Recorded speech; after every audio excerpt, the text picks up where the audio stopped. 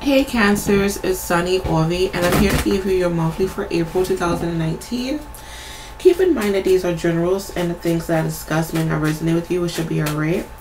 I do recommend that you get familiar with your natal chart because other aspects within your chart may make more sense to you during this time other than your sun, your moon, and your rising. And if you would like a personal reading, please go to the description bar below because that's where my website is. Also, disclaimer with my readings, I do talk fast, I do curse from time to time. And due to me reading for a lot of different energies, my readings can be very jumpy. Please forgive because I don't feel like being seen today, but hopefully you guys will understand.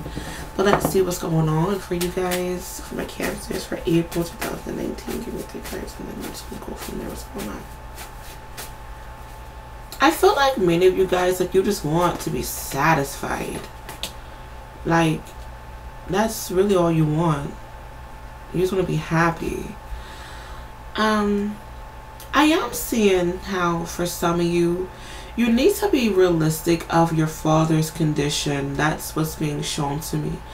Whether this is your biological father, your stepfather, um, maybe your uncle or grandfather. Um, and when I say uncle, maybe you view your uncle as your father, but I feel like there's a male figure who you view as father or who is your father.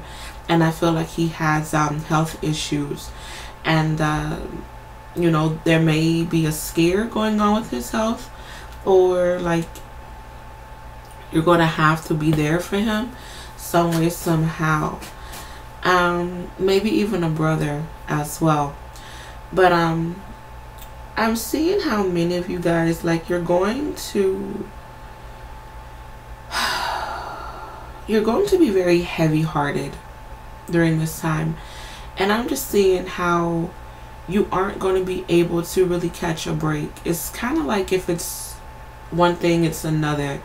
That's what's being shown to me. And I feel like you are going to just be a, a bit of a train wreck for some of you, okay? Um, I am seeing how there may be a disturbance within family life, whether uh, someone is departing from you, you can take that how you want to, um, or there's a breakup when it comes to the family. I am seeing a family issue where you're going to have to split uh, some sort of inheritance. Uh, they may be fighting over a will. Um, I, I just see how family um, really aren't going to get along during this time, especially unfortunate, unfortunately, if there is a death. Um,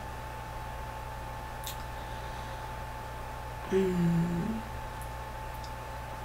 I'm also seeing, oh lordy, for some of you, there may be um I keep picking up on children. There may be um Oh, y'all, this reading is low-key dreadful. Um there may be watch your children. Okay? Um for some of you I hate to say be mindful of abortion or miscarriage during this time. I keep picking up on twins, like losing twins. That's what's being shown to me, like twins or triplets. Okay.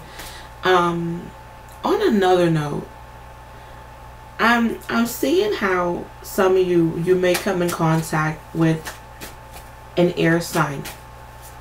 Gemini, Aquarius, or Libra. And I'm seeing how you really like or liked this person. Hmm, this person isn't in your life that much anymore. I feel like they come and they go. Or this may be someone who you have a karmic relationship with and they may be a new person in your life.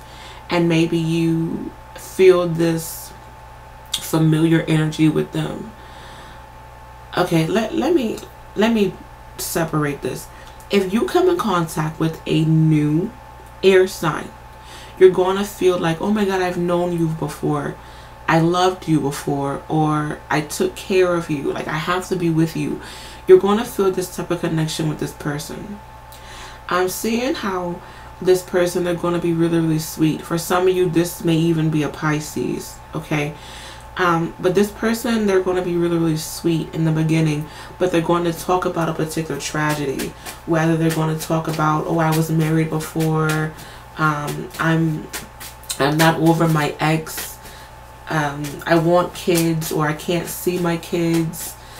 Um, it, it's going to be something weird that they're going to tell you about either pa a past lover that they aren't over, or kids. Like I really want kids, but I haven't had kids yet, or my ex won't let me see my kids. It's going to be something along those lines. But I'm seeing how you are going to be in the energy of, hey, let, let me help you. You know, let me do what I can for you. And in a way, you may not mean to do this, but this is what I'm seeing. Like, in a way, you may feel as if, oh, and this is going to sound so mean, but subconsciously you're going to try to take this person's attention away from their hurt and their pain. And it's kind of like you're trying to replace this person's ex. You're trying to replace the fact that they can't see their kids. But in a way you aren't getting the love in return because this person is still cold to you. They aren't really open to you like you, at first, this person's going to be really, really sweet, but once you start to show this person, hey, like consistently, I'm going to be there for you, they're going to kind of exit from your life, or you may not hear from this person anymore. Or once you have sex with this person or give this person what they want, they're going to fade away from you. Once again, this is a karmic relationship. Maybe in the past, you fucked over this person and this person was there for you.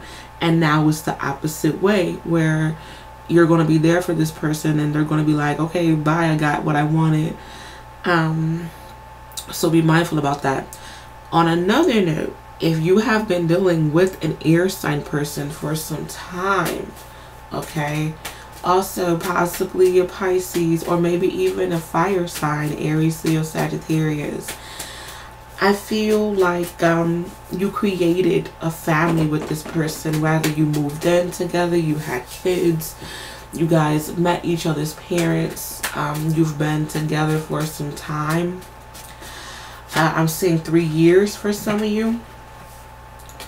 Um, I'm seeing how the love isn't the same anymore. It's like you guys lost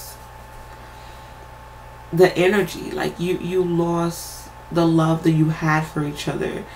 And it's like the intentions of making it work just wasn't there anymore. Um and it's like you guys were holding on.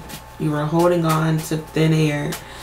And now you're realizing okay you know what? Like I, I can't do this anymore. But I still see you I still see you wanting to be there for that person or that person will want to be there for you. But it's it's not solving anything. Like you guys are basically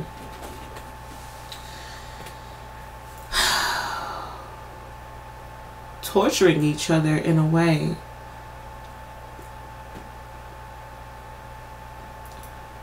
I'm seeing how for some of you your emotional self like you you being mean you being argumentative and rude with your words created this relationship to go downhill and vice versa, hell. But at the same time, even though you were mean to this person,